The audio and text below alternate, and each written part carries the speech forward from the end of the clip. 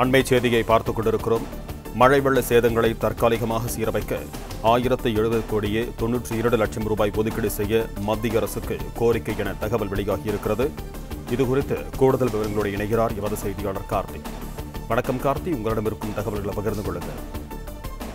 தமிழகத்தில் வடகிழக்கு பருவமழையின் காரணமாக ஏற்பட்ட மழை வெள்ள பாதிப்பு சேதங்களை ஆய்வு செய்வதற்காக மத்திய குழுவினர் கடந்த மூன்று நாட்களாக தமிழகத்தின் பல்வேறு மாவட்டங்களில் நேரில் ஆய்வு செய்தனர். அந்த ஆய்வுகளை முடித்துக் கொண்ட பின்னர் இன்று மதியம் முதலமைச்சர் மு க ஸ்டாலின் அவர்களை தலைமைச் செயலகத்தில் சந்தித்து ஆலோசனையும் நடத்தியிருக்கிறார்கள். இந்த ஆலோசனை கூட்டத்தின் அடிப்படையில் தான் தற்போது ஒரு முக்கிய தகவலானது வெளியாகி இருக்கிறது அது தமிழக அரசு சார்பாக ஏற்கனவே முதல் கட்டமாக ஒரு கோரிக்கை மனுவானது மத்திய அரசிடம் வழங்கப்பட்டிருக்கிறது. அதில் இரண்டாயிரத்தி எழுநூத்தி இரண்டாயிரத்தி எழுபத்தி ஒன்பது கோடியானது தமிழகத்திற்கு ஒதுக்கீடு செய்ய வேண்டும் என்று முதல் கட்டமாக ஏற்கனவே கடந்த வாரம் மத்திய அரசுக்கு அந்த கடிதம் கடிதமானது அனுப்பப்பட்டது இந்த சூழ்நிலையில் தான் தற்போது அதன் பின்னர் நடைபெற்றிருக்கக்கூடிய கள ஆய்வுகளின் அடிப்படையில் தற்போது கூடுதலாக தொகை ஒதுக்கீடு செய்ய வேண்டும் என்று கோரிக்கையானது முன்வைக்கப்பட்டிருக்கிறது. அந்த அடிப்படையில் பார்க்கும் பொழுது தற்காலிக சீரமைப்பு பணிகளுக்காக ஆயிரத்தி எழுபது கோடியே தொண்ணூத்தி ரெண்டு லட்சமானது ஒதுக்கீடு செய்ய வேண்டும் என்றும் நிரந்தர சீரமைப்பு பணிக்காக மூவாயிரத்தி ஐநூத்தி ஐம்பத்தி நான்கு புள்ளி எண்பத்தி எட்டு கோடியானது ஒதுக்கீடு செய்ய வேண்டும் என்று கோரிக்கையானது மத்திய அரசு வைக்கப்பட்டிருக்கிறது.